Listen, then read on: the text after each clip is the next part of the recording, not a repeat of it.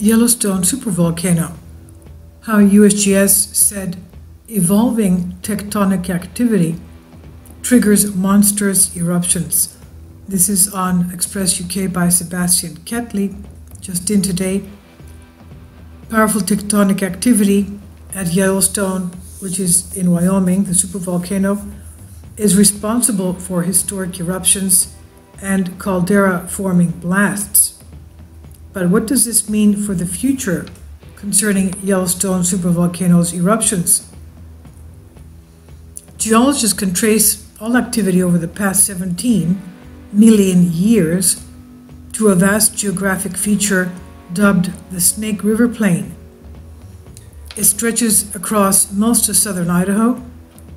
The Snake River Plain, violently formed when the North American plate passed over a scorching plume of magma in the Earth's crust, and this plume, which is believed to be currently residing under Yellowstone National Park, that is, under the Yellowstone supervolcano, is a hot spot. It's pushed the land upwards and forced the lava flows to the surface. And it's still there today, of course. This is a hotspot area. Today, geologists refer to this region as the Yellowstone Plateau volcanic field, YPVF, the youngest of many volcanic fields stretching from north, northern Nevada to southern Oregon. The United States Geological Survey, the USGS, is the society, the organization that keeps the uh, watchful eye on Yellowstone volcano. It has an observatory there, the Yellowstone Volcano Observatory, and has dubbed this feature uh, the Earth's largest volcanic structure. In the weekly edition of Caldera Chronicles, USGS geologist Lisa Morgan explained how tectonic movements of the North American plate trigger a continuous cycle of evolution at the YPVF, the volcanic field, that is, the of Yellowstone. The geologist said the current YPVF has seen three cataclysms caldera forming eruption, starting with the first about 2.08 million years ago, and that eruption produced multiple ash sheets originating from at least three separate volcanic vents located within the Huckleberry Ridge caldera, a structure that is close to 100 kilometers across. The second big eruption, the Henry's Fork caldera, was considerably smaller, occurring about 1.3 million years ago, and was nested within the southwest portion of the older Huckleberry Ridge caldera. The last and most recent major eruption occurred about 631,000 years ago and formed the current shape of the Yellowstone caldera. According to Dr. Morgan, each of the three eruptions produced similar geological features across Yellowstone. The Yellowstone caldera blast was characterized by a series of rhyolite lava and basalt flows. The first of this of these started 1.2 million years ago. The caldera eruption itself took place across two separate blasts, which happened only a few days or a few weeks apart. Once the upper eruptions were over, the super eruptions were over, the volcanic caldera collapsed in on itself and it formed the park's features as they are enjoyed by visitors in this present day. After that, the USGS found evidence of volcanic eruptions right after the caldera formed up and uh, up until about 450,000 years ago. And then Yellowstone reared its ugly head once again about 250,000 years ago with a renewed period of volcanism. So you see, it's not just uh, that they were saying 630 or 640,000 years ago, we had a super, super eruption again 450,000 years ago and 250,000 years ago with a, a renewed volcanic eruption. The most recent lava flows at Yellowstone volcano occurred about 70,000 years ago.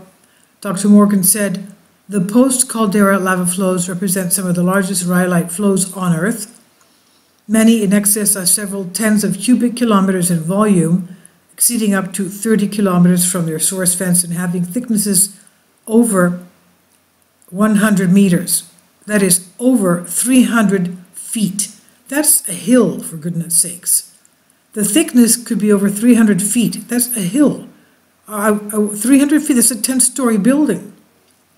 Yellowstone's ongoing stage of volcanism is characterized by frequent hydrothermal activities, which the USGS has started uh, uh, about uh, said started about 400,000 years ago. Another factor in the constant evolution of Yellowstone system is the effects of glaciation and the last ice age about 15,000 years ago. But what does all of this mean for the future of the volcanic activity at Yellowstone, the supervolcano? And the landscape as it continues to shift and change with time, geologists believe caldera forming eruptions will cease at some point in the future. According to Dr. Morgan, the North American plate will move over and away from the Yellowstone magma plume, and Yellowstone will drop or subside substantially. Well, when is that going to happen? The North American plate will move over and away from Yellowstone magma plume? I mean, by the time that happens, it'll be another 10, 150 million years. A geologist said, then the cycle will begin once again. A new volcanic field complete with multiple large nested calderas, lakes, geyser basins, and hydrothermal explosions with accompanying tectonism will form to the northeast of the current day Yellowstone.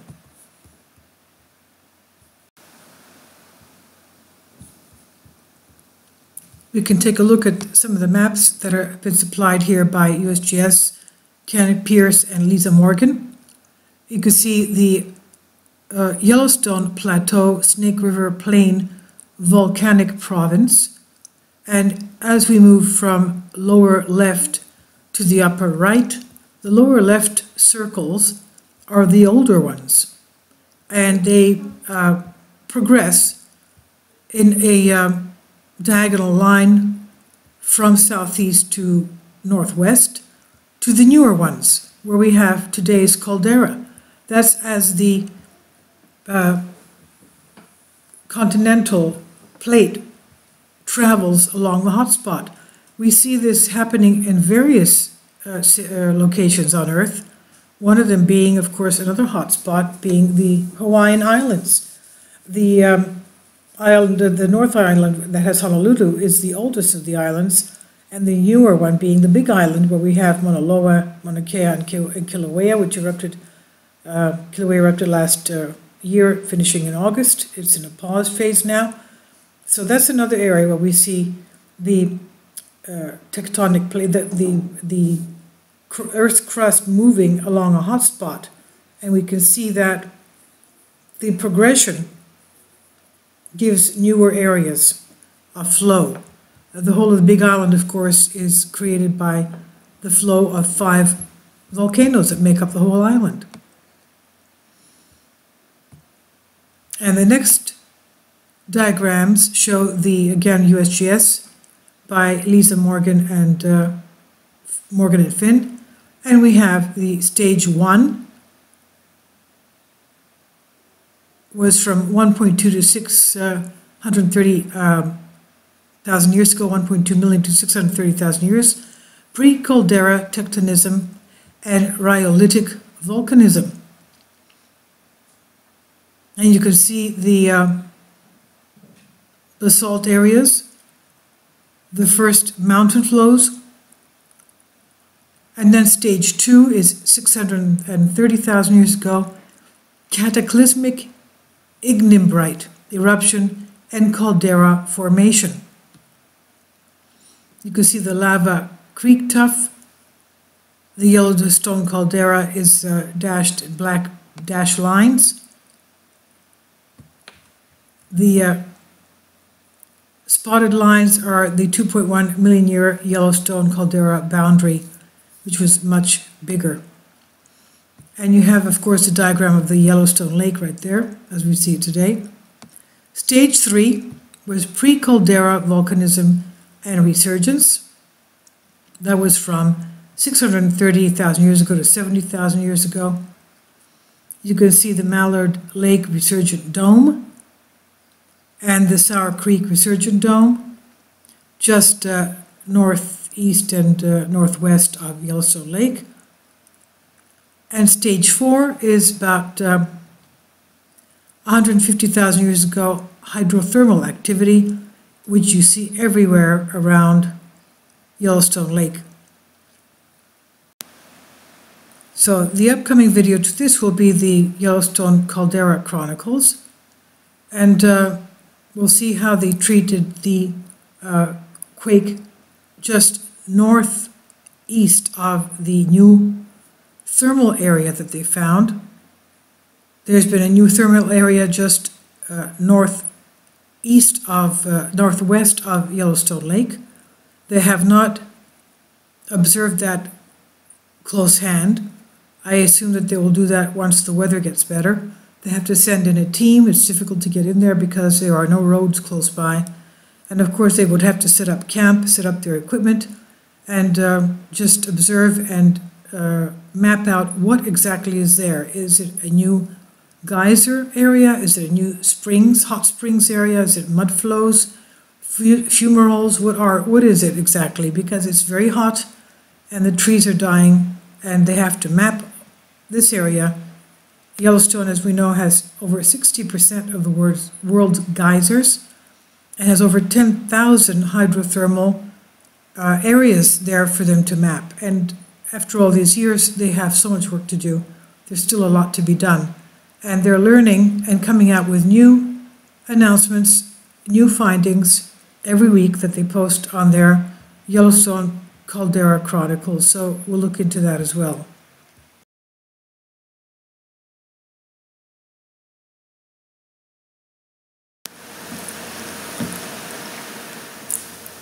If you'd like to join me on my Patreon account, you will hear content not covered by mainstream media.